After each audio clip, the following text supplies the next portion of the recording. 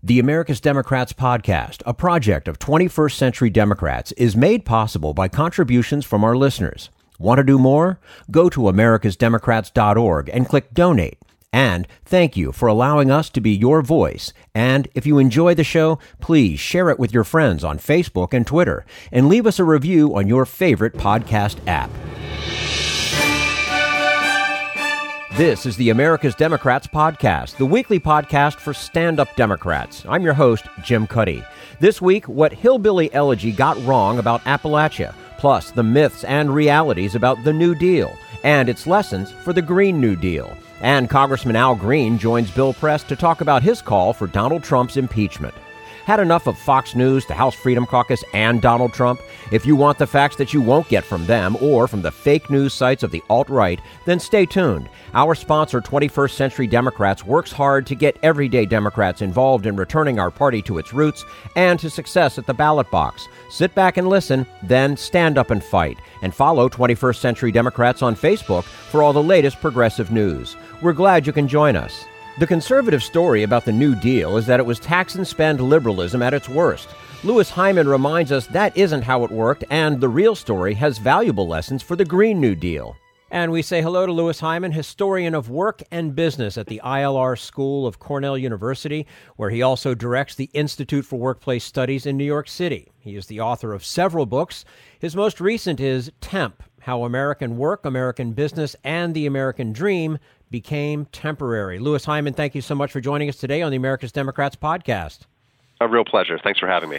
And our pleasure to have you with us. Now, Louis, you recently wrote an article for The Atlantic titled The Green New Deal It Wasn't What You Think. One of the points you make is that we too often think about the New Deal as primarily a government tax and spend project. So, what's left out of that story? Well, it is a story, and it's a story we're told in our high schools, in our colleges, about the government spending a lot of taxpayer money on transforming the economy. And parts of it are true, but what's important to realize about that story is how much is left out. That the parts of the New Deal that had the biggest impact, that created suburbia, that created and electrified the countryside, that created the aerospace and electronics industries. These were all done by private capital. This was not done through taxpayer funds. And the government acted as a middleman through the Reconstruction Finance Corporation to create systems of insurance and lending that channeled the idle capital of Wall Street, where it was sitting during the 1930s, channeled that money into these technologically cutting edge projects, creating millions of jobs, creating millions of homes. And I wrote the story because it's important that we recognize all the options that we have. And if we're going to solve climate change, we're going to need a lot of money to do it and I didn't want uh, people to be hemmed in by the story they had in their heads about the New Deal, because what was really successful about the New Deal was its finance. Now, there's a very important player in this story, Jesse Jones. Who was he? Jesse Jones is an iconic Texan businessman. And he is a publisher, he is an oil investor, he is a real estate developer, and most importantly, he is a banker. And during the Hoover administration, right before FDR, he was brought in as part of this Reconstruction Finance Corporation, which at the time under Hoover, who is more conservative than FDR, just wanted to, you know, recapitalize local banks that had been failing. Well, in comes FDR, who promotes Jesse Jones, who's a Democrat from Houston, and he is much more expansive in his ambitions. He thinks that the scared money of banking is why we are in the Great Depression, and so he sets up systems to channel capital uh, into investment. And as a real businessman, uh, he thinks about capital, not just, you know, making everything balanced, because capitalism is about growth, Texas is about growth, and Jesse Jones certainly is about growth. And you write that it was very important for Jones to deal with a business that was risk averse in the wake of the Depression. How difficult was that task? Well, he, you know, bankers were terrified. He wrote later that they thought that they had to wait until quote the the dark skies had cleared. But he knew that you know economies weren't natural. Economies didn't just they weren't like the sky. They didn't clear by themselves. They had to be fixed. And so, because he was an entrepreneur, um, he was comfortable with risk. He had been taking risks his whole life and been successful with them. And so, one of the things he did was to create systems that reduced the risk of investment so that banks with money just sitting there not making a return, he created ways for them to lend their money out safely without risking their money and getting a, a small return in exchange for that. And that is what made possible the main programs of the New Deal. We're speaking to Louis Hyman, historian of work and business at the ILR School of Cornell University, where he also directs the Institute for Workplace Studies in New York City. Uh, one of the major achievements, Louis, of this time period was making mortgages safe again. How did the Roosevelt administration accomplish that? Well, the Roosevelt administration, in conjunction with Jesse Jones, in conjunction with, with what is today Citibank, designed some systems so that the mortgages would no longer be driven by very short time horizons and into long-term stable investments. And so in the 1920s, during the sort of speculative run-up to the 19 to the Great Depression, houses had very short mortgages. They were three to five years. They were balloon mortgages, so that you just refinance them every few years. And what this meant was that after the crash of 29, that it was very hard to get those mortgages refinanced, and so the mortgages, you know, people bank went bankrupt all over. They um, went for foreclosed on. And this is what led to the housing crisis of the early 1930s after 32. So when those first mortgages came due. And so, what the Federal Housing Administration did was it created a system for long term mortgages, 10, 15 years. It created a system of standard rules for houses that could receive these mortgages. And in doing so, and the system, most importantly, of insurance, so that if a lender lent money on a mortgage and there was a default, then they could get back their principal. They wouldn't get back their interest, but they get back their principal, and that would be paid out over a number of years through a set of bonds. So this allowed people in New York City to lend money to home builders in Texas that they had never seen. They knew that it followed these houses would follow the FHA guidelines. They knew that they would get their money back. And this is just an astounding intervention in in terms of the flow of capital around the country so that suddenly people far away from Eastern banks had access to mortgage capital. And this is just, just sort of the first pass of this system through the Reconstruction Finance Corporation, and it sets the stage for other kinds of interventions in the economy. And you also write about the Rural Electrification Administration. Why is that an important part of this story? It's a crucial part. So, at the beginning of the 30s, about 10% of rural America had electricity. And we often hear about the TVA, the Tennessee Valley uh, Authority, which created electrical power for the Tennessee Valley. But that's only a small part of rural America. The rest of America was still dark. And if you are trying to get your economy going again, you want people in rural America to buy those new electrical goods that you're making in your urban factories. Well, they can't do that without electricity. And the REA was important um, in doing this. What it did was it did for rural electrification what the FHA did for housing. So the government, again, acted as a middleman, taking capital from Wall Street and investing it, but this time in local cooperatives that were organized by communities to run electrical grids.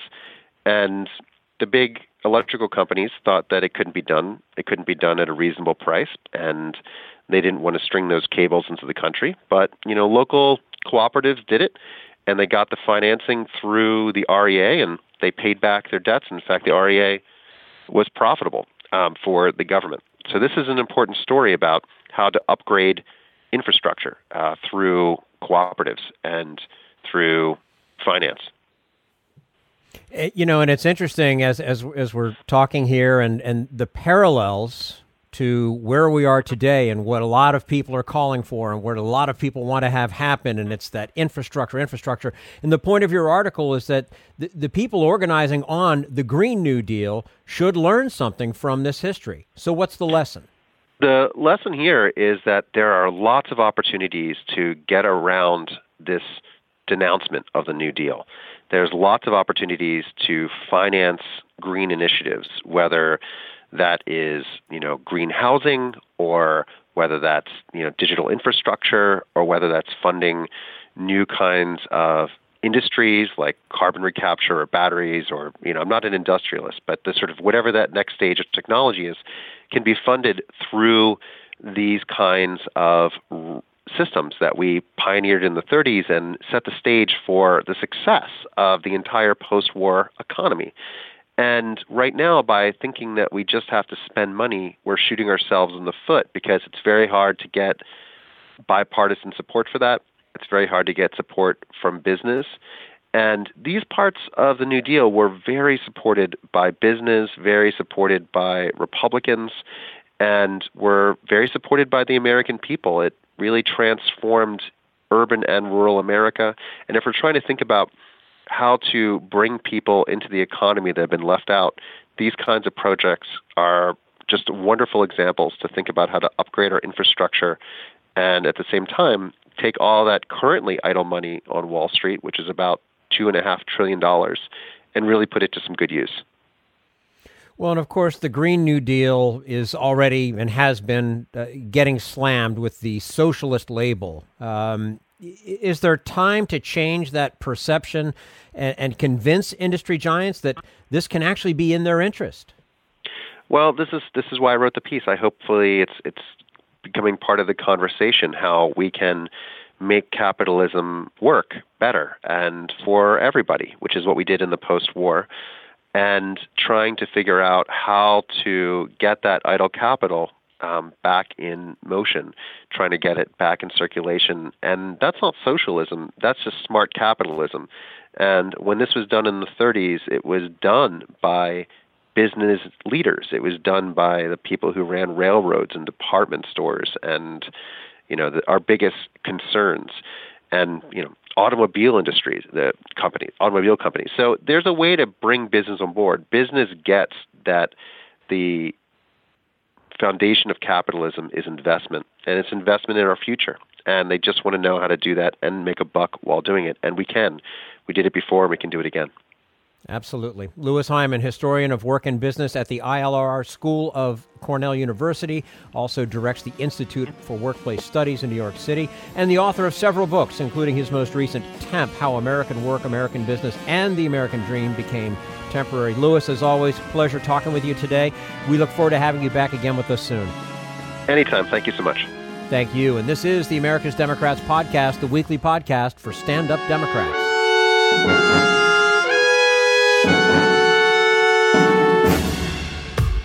We want you to sit back and listen to this AmericasDemocrats.org podcast, a project of 21st Century Democrats. But we need you to stand up and fight. Do you want to get involved and help get our party back to its roots and to success at the ballot box? You can make your contribution to help us keep this show going and to elect Democrats who will stand up for democratic principles. Go to americasdemocrats.org and click on donate at the top of the page. This social Security measure. I believe that we must pass legislation to provide medical care.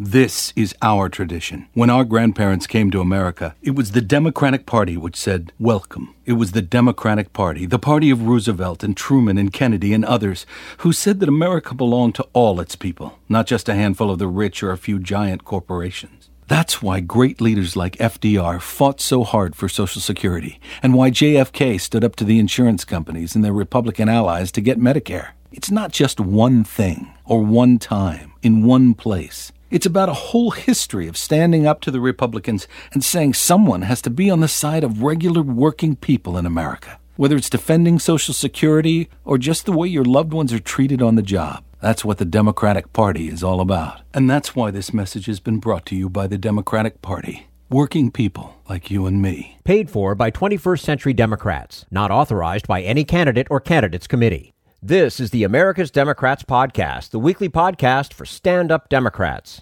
Coming up next, Appalachian Reckoning, a region responds to Hillbilly Elegy. But first, we turn to Jim Hightower, America's number one populist, for his common sense commentary. MAGA blusters Donald Trump, make America great again. America's ranching families, however, would like Trump to come off his high horse and get serious about a more modest goal, namely, make America cool again. COOL stands for Country of Origin Labeling, a straightforward law simply requiring that agribusiness giants put labels on packages of steak, pork chops, etc., to tell us whether the meat came from the USA, China, Brazil, or where in the world to stand. This useful information empowers consumers to decide where their family's food dollars go. But multinational powerhouses like Tyson Foods and Cargill don't want you and me making such decisions.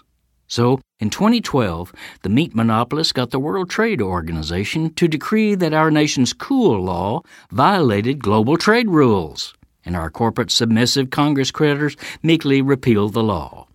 Then came Donald Trump and his Made in America campaign, promising struggling ranchers that he'd restore the cool label as a centerpiece of his new NAFTA deal.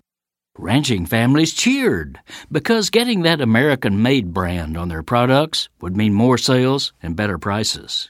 But wait, Trump has now issued his new U.S. Mexico Canada agreement, and where's the beef? In his grandiose 1,809 page document, cool is not even mentioned.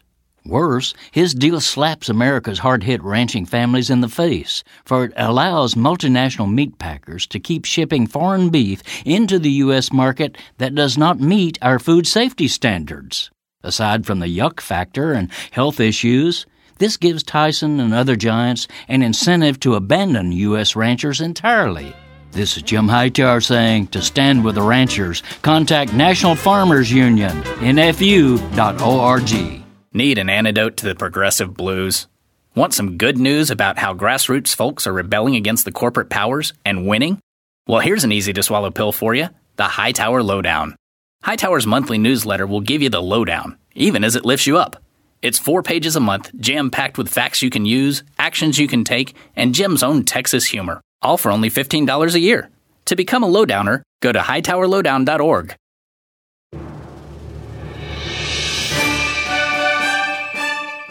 This is the America's Democrats Podcast, the weekly podcast for stand up Democrats.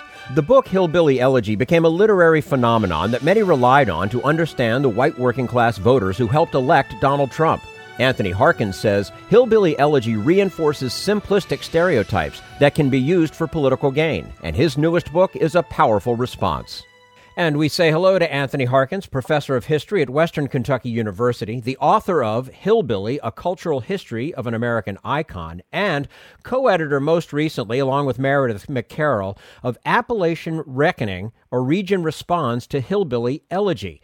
Tony Harkins, thank you so much for joining us today on the America's Democrats podcast. Oh, delighted to be here.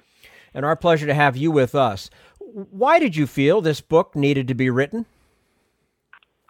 Well, I think uh, the you know it, it is both a reaction to the sort of phenomenon of of J.D. Vance's Hillbilly Elegy and its uh, enormous popularity, but also to the widespread opposition or concerns about that book and the ways it was being uh, used, um, both uh, both in literary terms and also politically, to advance a a limited vision of the Appalachian experience. What is your understanding of the popularity of Hillbilly Elegy? Well, I mean, I think it is uh, it is a you know it is a, a powerful story of uh, of rising above many difficulties of the sort of hardships that many people um, in the broader Appalachian region and in the Rust Belt experience, and, and frankly, really across the country. Um, it is uh, very much of a kind of Horatio Alger story of pulling yourself up by your own bootstraps and rising and uh, overcoming the odds through luck and pluck. And uh, that's a very positive story that a lot of Americans, um, you know, like to hear. They want to believe that people can rise and fall through their own individual efforts.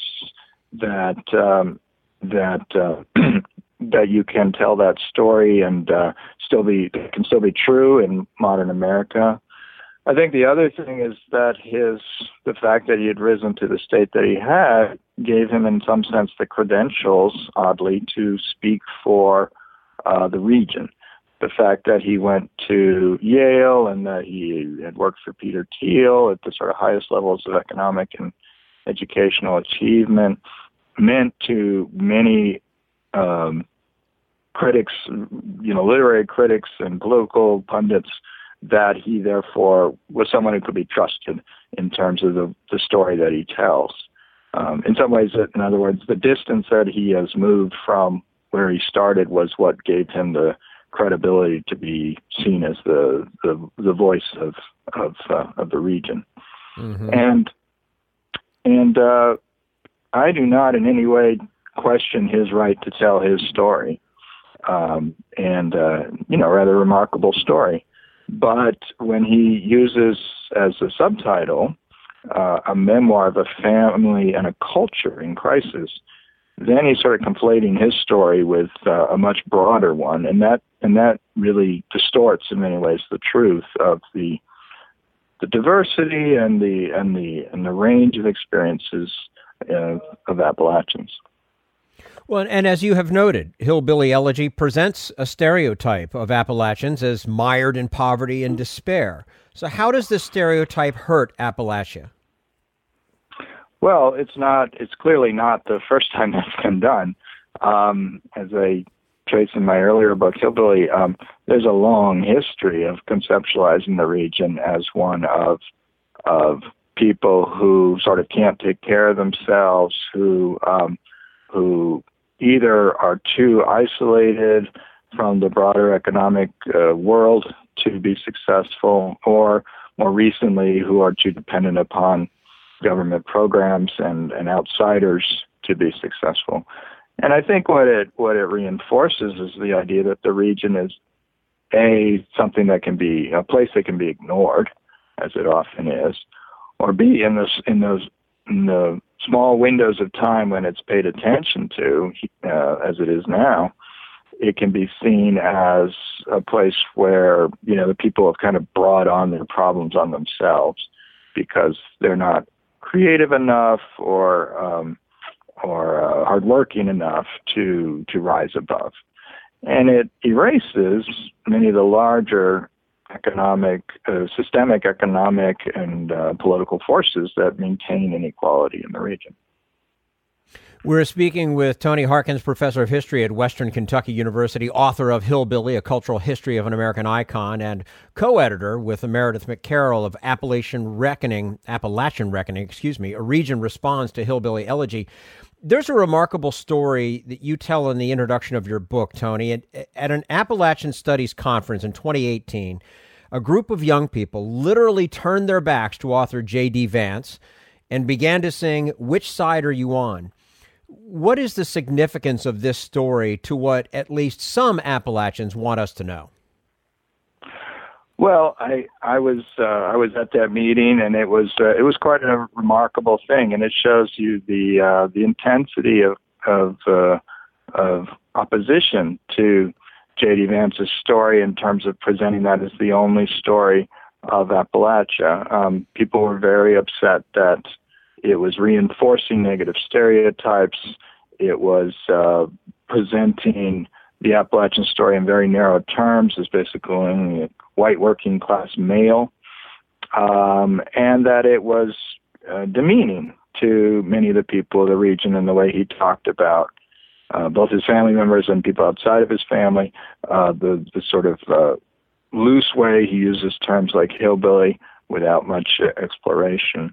And of course, "Which Side Are You On" is a song from Appalachia. It was uh, it was written at the time of the mine wars in the 1930s, and and framed as a as a kind of defense of the people against the powerful interests. And so, using that song, I think was was rather brilliant, actually, in terms of framing this uh, this experience in that way. On the other hand, it was a complicated time um, experience for me as well because uh, the people who had invited J.D. Vance to Appalachian Studies are some of them are also contributors in the book, and the people who are participating in the protest are contributors in the book. Um, some of them, and so uh, it it pointed out the ways I think we've tried successfully, hopefully, to incorporate multiple voices uh, in in the book in Appalachian Reckoning to say that no single voice is the is the voice of Appalachia. That there are many experiences. Some uh, writings in the book uh, find positive things in J.D. Vance's story, either either in exposing what they say are hard truths that we have to face about the region, or the possibilities of moving beyond very difficult circumstances to to rise up. And then other voices, other contributors in the book are very critical of J.D. Vance and the way he uses um, the way he uses his story to to hide or distort uh, the broad range of stories that Appalachia has by race, by class, by sexual orientation, etc. Um, so it was a moment where it showed the intensity of feeling, but I hope it also opens up a, a space for dialogue and discussion and and candor about the region and about what it is to be Appalachian. And as you're talking about it, all I can think about is that that has to be a healthy situation where you have people from both sides and, and there's a discussion going on, a little protesting going on, whatever, but everybody gets to be heard. And I, I just overall, I just I think that's a very healthy thing for everybody in this country, and it could be used in a lot of other places as well. Um, I, I, thought it was too, and and uh, you know, for I thought it was healthy for the organization, which um, can be a little hidebound and tied to the past, and and and it showed the the vitality and the dynamism of younger people uh, becoming active, uh, but doing it on their own terms. You know, they're not simply going to follow the orders of their elders. Sure. And now tell us about how you went about uh, compiling the material and your choice to include such a wide variety in, in format that includes poetry and photography as well as essays. Well, I think Appalachian studies as a as a discipline has always been very interdisciplinary. Has always been interested in combining um, artists and scholars and activists, and um, and so we wanted the book to represent that as well. And uh, the book is born out of a panel that I that I um, moderated and led uh, two years ago at the Appalachian Studies Conference, and a number of the contributors come from that panel. And then I wanted to have a range of uh, Meredith and I, as we talked it over, wanted to have a range of voices of uh, by gender, by age, by region, by um, occupation, by uh, race, sexual orientation. So we wanted to include all of that, and and and the photography came rather late, but I think it was a a wonderful addition because part of the goal of that, as well as the poetry, was to to help people outside the region recognize its complexity, the uh, depth of, of the you know the the thinking and the artistry that's that's being produced here, and to challenge the stereotypes of people who are uh, you know sort of depressed and and broken down and, and incapable of of sort of functioning on their own. Several of your writers in the book challenge the dominant view of Appalachia as exclusively white. What do they want us to understand? They want us to understand that Appalachia has always been a multiracial space. Um, you know, starting with Native Americans, of course, uh, but then in the 19th and 20th century, there were large numbers of African Americans who who came to the region uh, following the coal jobs. There were lots of people from Eastern Europe and other parts of the world who came as well. It was one of the most diverse places in America, um, and and remains so in some ways. And it has major cities in it as well as uh, rural spaces. Appalachia often gets defined in very narrow terms as exclusively white, exclusively coal miners, when in fact that's a, a tiny, tiny percentage now of the of the workforce um, exclusively male in many ways. and very conservative uh, in terms of socially and politically conservative. And although those things are there and those things are true, it also has um, a lot more diversity than than that. And and the African American voice is important to recognize that it's always been part of the of the mountain experience. And so it was important to include those contributors. And you also included several community activists in the book. Why is it important to recognize the tradition of activism in Appalachia? Uh, again, I think because it's framed oftentimes in the public media as a space of, of non activism, of passiveness, of sort of allowing the problems of the world to roll over them without any response. And um, um, people who are, you know, too incapable of leaving and making a better life. Um, and we wanted to stress, as has always been true in Appalachian history, that it's always been a place of activism, a place of struggle, a place of people working to, with, with relatively few resources, to improve their lives and make a better world. Um, and um, and that continues today. Now, this is not a political book, but the role of Appalachia in politics certainly looms large, especially during election years. What do you hope politicians can learn from this book? Uh, well, I, you know, I'd be a little reluctant to, to, to be giving lessons to politicians, but I think one thing is that Appalachia often gets framed as mono, uh, monopolitical, like it, like it all votes in one block. And one of our contributors, Dwight Billings, has coined this term Trumpalachia as a kind of construction of the idea that the entire Appalachian region voted for President Trump and sort of in lockstep, uh, neglecting the the understanding that in the primaries, at least, um, Bernie Sanders did very well. He out out pulled uh, Hillary Clinton in the 2016 primaries in a number of places. That Appalachia has a history of political uh, radicalism as well as um, as well as uh, moderation. I mean, there's there's there's I guess the main lesson is to not take Appalachia for granted, not to assume that everyone in the region votes the same way, not to assume that the results of the 2016 election are the only imaginable results. Um, a number of the contributors in the book that I've spoken to have said, you know, the the the outcome had as much to do with who didn't vote as who did vote and um, as a region that is often ignored and and uh, isolated in the national media, there seems, uh, among many, little reason to vote that the two parties are not going to be much different for them. But that doesn't mean that um, that they all are exclusively going to vote always for you know Donald Trump or for for any single party or, or politician. Mm-hmm. Stay away from the stereotypes, people. Stay away from the stereotypes. Anthony Absolutely. Harkins. I mean, not just in Appalachia, but everywhere, you know. Yeah, absolutely. Yeah, yeah. Anthony Harkins, professor of history at Western Kentucky University, author of Hillbilly, A Cultural History of an American Icon, and co-author or co-editor with Meredith McCarroll of Appalachian Reckoning, A Region Responds to Hillbilly Elegy.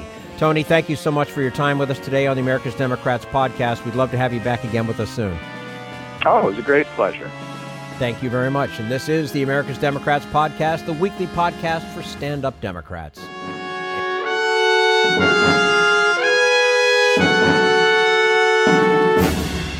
We want you to sit back and listen, but we need you to stand up and fight. Help get our party back to its roots and to success at the ballot box. Make your contribution to keep the AmericasDemocrats.org podcast, a project of 21st Century Democrats, on the air, and help elect stand up Democrats.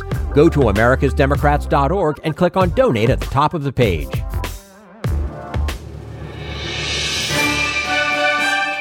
This is the America's Democrats Podcast, the weekly podcast for stand up Democrats. And now, Representative Al Green from Texas tells Bill Press about why he believes there is a moral imperative to impeach Donald Trump.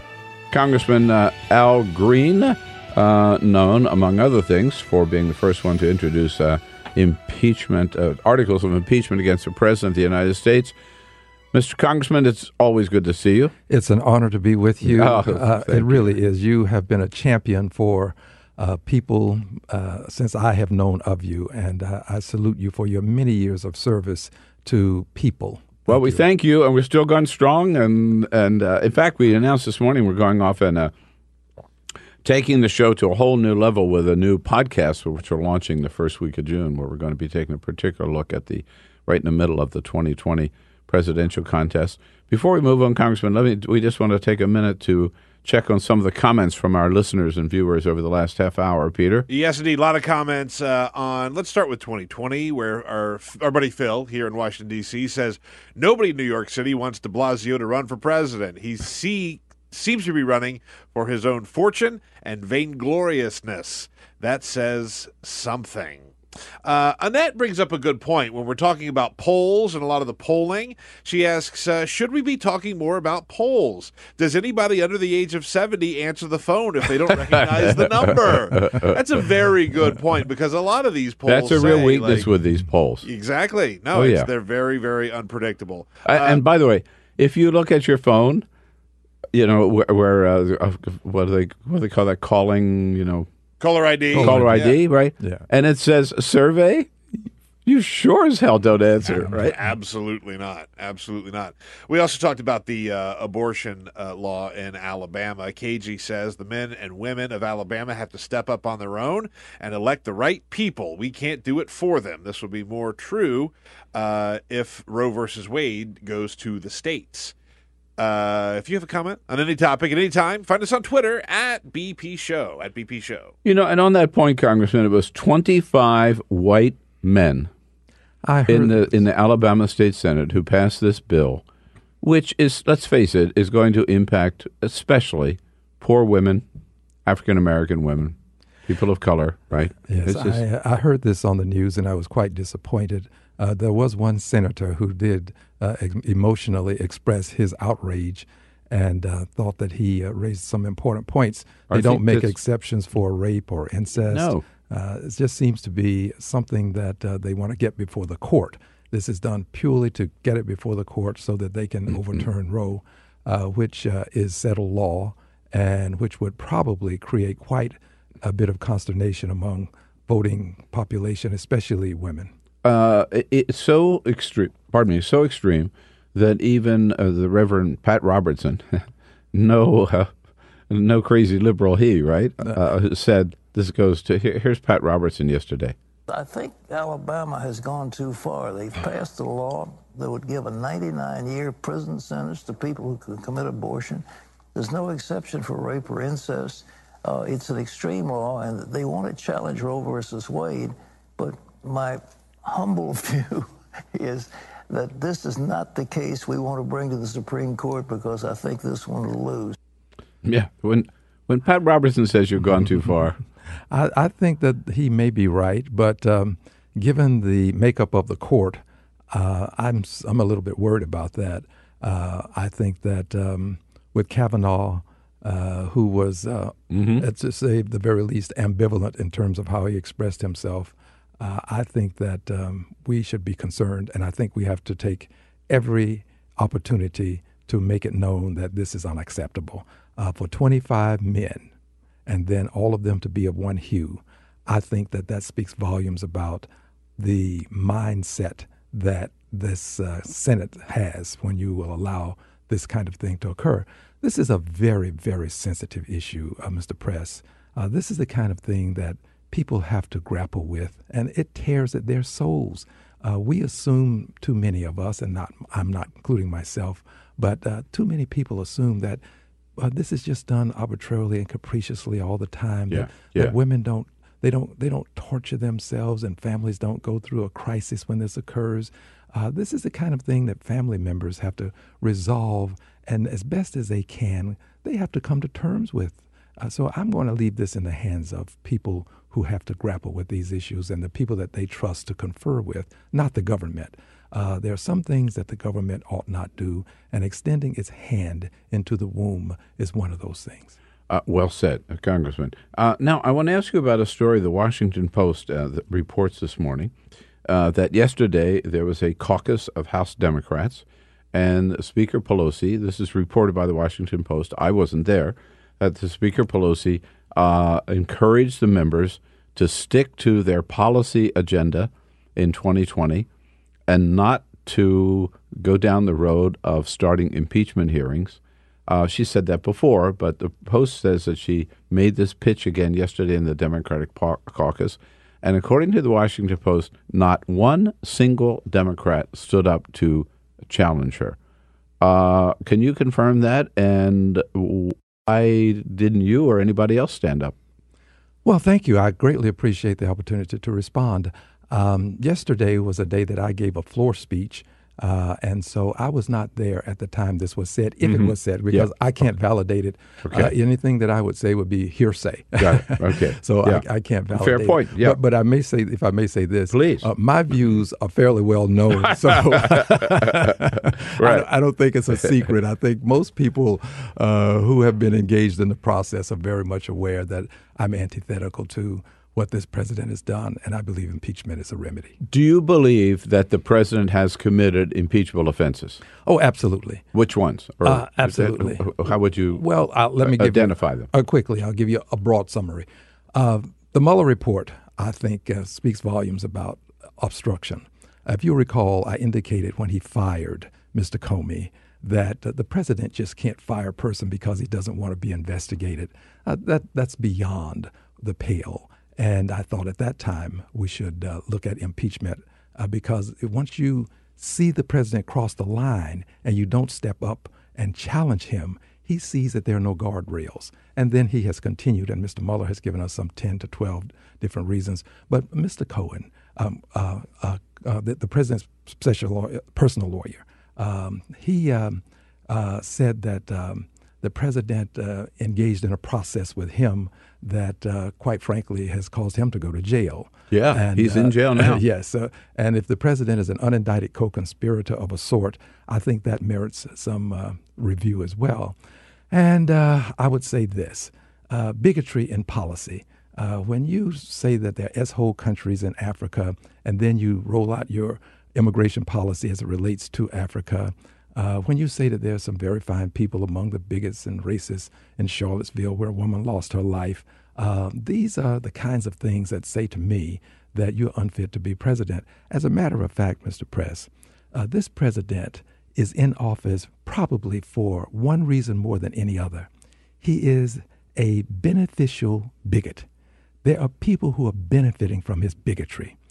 Good example uh, a good many members of the religious community. Mm. Um, they, they have just, in a sense, sold their souls to this president. Things that they would not tolerate in any other person on the planet, they tolerate because he is a beneficial bigot. Uh, they understand that he's a bigot, but he's their bigot. And as long as he's their bigot and he's doing uh, some of their bidding, uh, they seem to find favor with this. I do not. I think that the president has brought us to the precipice of a constitutional crisis. Now, there are people who would differ, but let's remember this there is no hard and fast definition of what a constitutional crisis is. So if you hear someone say, here's what it is, that's his or her opinion. Mm-hmm. Everybody can have an opinion on it. Here's my opinion. If we conclude that a constitutional crisis will only occur when you get to the Supreme Court and the Supreme Court can't resolve an issue, as is the case between the House now uh, uh and the uh, executive, the president, and everyone is expecting this to go to the Supreme Court, and eventually, with the subpoenas, the Supreme Court will rule. And then, if the president won't abide by the ruling, if that is a constitutional crisis for you, then I would differ with you. That's a constitutional collapse. Hmm. You see, mm-hmm. I make a distinction between a collapse and the crisis. The crisis is the thing that we're in now. If we get to a point where the president just absolutely refuses to honor a court order, then that's a collapse. And I think that we shouldn't allow ourselves to get to this point. The solution is impeachment. It is perspicuously clear. The Constitution speaks to it. And we ought to go down that road because if we do, Mr. Press, we don't have to worry about Supreme Court ruling. John Roberts will rule because he presides over the trial. Mm-hmm. That mm-hmm. trial will take place in public view. Every ruling that he makes will be seen by the public. And then we will have the opportunity to not only see the rulings made, but also to see them implemented and to see how the president responds. Now, there are two arguments that the speaker and others make uh, against moving forward with articles of impeachment. One is that uh, Democrats promised we we get control of the House, and we've we've got a public policy agenda to let's say save Obamacare, do something about prescription drugs, do something about climate change, about jobs, about minimum wage, and if you start impeachment hearings, it's going to detract from or make it maybe make it impossible to proceed with the policy agenda. What's your response? Well, I don't think that's the case. Uh, if you hear Democrats speaking, they're saying that we're adhering to the policy agenda and that we can walk and chew gum at the same time is a phrase that's commonly utilized. I, I concur with that phraseology.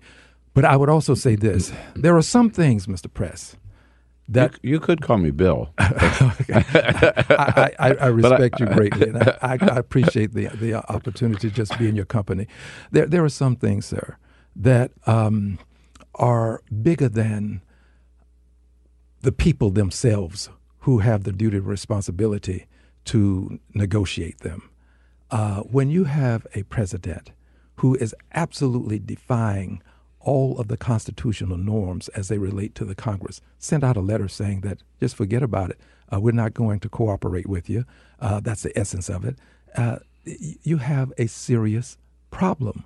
And here is the problem the problem is we now have a crisis as it relates to the balance of power, the checks and balances that we expect to maintain that balance of power.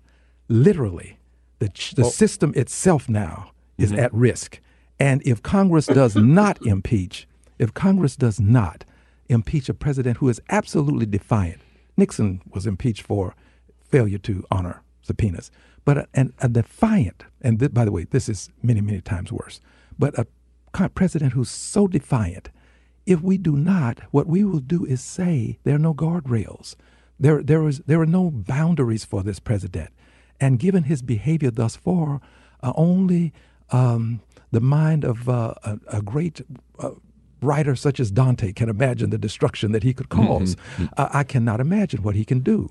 So we have no choice now but to impeach. And we've had this choice for some time. And I say no choice. We still have so, a choice, but I think impeachment is a solution. Oh, so another argument is, against your point of view, is okay, these are serious issues uh, that we have um, now with uh, Congressman Maxine Waters at uh, f- f- banks and financial institutions. Deutsche Bank.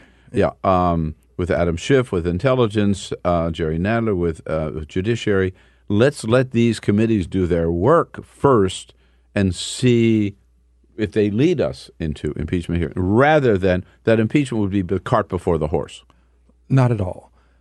Um, let's let's. and I hope this. you appreciate. It. I'm, no, no, no. These I, arguments I, that I've heard, and I, I, want to get your response. I want yeah. your. I want the toughest questions you have. Okay, so please do, do not back yeah. off one one scintilla. Let let me make this comment first. If we don't impeach, here's what the president will say: The Mueller report vindicated me. There was no collusion, and not only was there no collusion, uh, there was no obstruction. Because were there obstruction, the Congress of the United States, dominated by uh, Democrats would have impeached me. They did not impeach me. Therefore, the Congress itself has vindicated me by their inaction. Uh, that is not something I would want said of the Congress of the United States of America, given the Mueller report. For those who've reviewed it, it's it's absolutely shocking. For those who have not, you should, so that you can be properly shocked. Uh, now, mm-hmm. to uh, to deal with uh, what you've just said, um, Mr. Press, um, we have a constitutional responsibility to put the moral imperative to maintain the uh, co equal branches of the government, the House being one of them, a part of it, the legislative branch. We have a moral imperative that trumps political expediency, no pun intended. Yeah. Um, uh, uh political expediency is not something that we can allow to stand between us and the moral imperative to protect the House of Representatives, part of the legislative branch, as a co equal branch of government. We will become a toothless paper tiger if we don't take action, given that we all say now, um, most of the members of the House that I've heard talk about this, that the president has committed impeachable offenses. How can we say that he's committed impeachable offenses and then say uh, impeachment may not be the thing to do. I, I just don't see how we can do it. At least one person will not allow this to happen, and that will be me. Mr. Press, I have said before, and I'll say again uh, if the House, by and through various committees, won't take appropriate action, the Constitution and the rules allow each member to bring impeachment to a vote. Uh, I have done it twice before, and I have no reservations about doing it again because it's the country that's at risk, but it's the soul of the House that is going to be lost. Uh, and the final argument that I hear is that that if if the, were the House to begin impeachment hearings, it's exactly what Donald Trump wants. Because he would then say, "Look, I'm a victim of these Yes. Democrats. They're just Of course picking on me. Of course he would. And uh, now first it was Mueller, and now it's you know Nancy. Pelosi and the rest, and uh, and his base will rally behind him, and that it could help him politically and hurt Democrats politically. Is there a You're single, worried about that? Is there a single person who uh, views politics in a serious way who doesn't believe that his base will rally around him regardless? I, don't. I don't think he has to do very much to have a base rally around him. He has already indicated he. I think that's a given. Yeah. So Yeah. that's going to happen. That's going to happen, notwithstanding anything else. Uh, but here's the, the point uh, with reference to that: the president doesn't want to be impeached most would be authoritarians, uh, would be dictators, if most of these people with this mentality want to be loved. This is why uh, when you go into countries where there are dictators, they have their pictures up and people have to march and dance and sing and praise. And the best example of how this president um, is a would be, not there yet, but he's a would be authoritarian, uh, is the way the people in his cabinet have to literally praise him at the genesis of a cabinet meeting. He goes around the room. Thank God for for uh, General Mattis, who Yeah, who, right. who said, you know, the troops are doing great, Mr. President, and we're going to be ready. Uh, not those exact words, but others just fell in line. It's amazing to me how people have just lost and surrendered their integrity to this man simply because he's a beneficial bigot. He's beneficial. He benefits them. Uh, there are people in this country, Mr. Press, who have staked their reputations on fighting bigotry. There are organizations in this country who have at the very core of their constitutions to the, the challenge of taking on bigots wherever they are. Uh, and they do it re- religiously and righteously, except when it comes to the president. They have sold themselves out because they will not take on this president. Uh, we have seen him in the international arena, how his bigotry, how he's been able to weaponize it to the extent that he can show people how they can benefit from it. And that makes him a person who is truly persona non grata. It- we have a duty, a responsibility, and an obligation in this House to impeach this president. We don't have to have the hearings. I'm, I'm not opposed to them Yeah, doing it, right. but I don't want us to get into the paralysis of analysis, as Dr. King put it. Uh, we don't want to just talk about this until we, at some point we'll say, oh, it's too late now. Let's just wait until the election and defeat him as opposed to impeach him. So you're telling us today that you are still determined, prepared, ready to, it, to call for a vote on impeachment at any time. I won't say at any time. I think Okay. that there's an acid test for when it should take place that I've not revealed to anyone. Uh-huh. But I do think that yes, uh, I, as uh, as God is my witness, uh, I I will do it if no one else does. If the proper committees don't do it, absolutely, we have to And- go on record. The people who look through the vista of time have got to know where each of us stood at this time of crisis in the history of our country. And if people uh, out around the country uh, who are joining us today, uh, either right now live, wa- television, radio, later on in the podcast, want to help, right, and kind of help you put some pressure on some people, how do they do so? What do you Well- What do you want them to do? What do you? Well, uh, what would you glad ask you, people glad, to glad you mentioned the people because about 45% now say that they'd like to see impeachment. And uh, of course, overwhelming majority of uh, Democrats would like to see impeachment. Here's what I say to people I have told members, and I say it now vote your conscience. I'm, this is a, a matter of conscience for me. So I say, vote your conscience. And I tell the people around the country, uh, you know what activism is. You do what you think is uh, appropriate for the circumstances. I don't tell people how to go about expressing themselves, but I do think that every person has a right to weigh in on this question and make their voices known, right? however they choose to. Right. Okay. Um, I want to ask you about something else while you're here. Yes, sir. Uh, and that is uh, about a big Senate race in Texas coming up. Yes. Next year, right? Yes. John Cornyn is up. Yes. Right? Um, do we have a chance of getting that seat back? Um, do you think that Julian Castro should be running for that seat instead of running for president? And why aren't you running? Well, you're very kind to think as highly of me as you do. If, Well, you, if, you- if, if, you your have as high a profile as anybody else you- in you- Texas. You're, you're the first person to, to say such a thing to me. I'm honored that you would. Uh, I'm trying as best as I can to f- fulfill my constitutional responsibilities in the House of Representatives. Now, the follow-up question is: Is that a no? Uh, that is a no. Okay, so now let's You're talk. not gonna run. I'm not Okay. running for Senate. Uh, I'm running for the House of Representatives. Uh, I have been there, and I enjoy the work that I do. I think it's a good thing for me to do. But in terms of other people, I, I'm not the person who's going to select who the challenger ought to be. There are persons who have indicated they're interested in this. Um, Mr. Castro's brother has indicated that he's interested Mhm, in this. mhm. Uh, Mr. Chris Bell, former Congressman Chris Bell, has indicated in the Houston Chronicle just yesterday, I believe, that he is interested in running. So we have plenty of candidates, a plethora of persons who may want to run. Uh, I will be supporting the Democrat. Uh, I think that um, uh, the Democratic Party will have a good uh, opportunity in Texas, a great opportunity to turn Texas blue.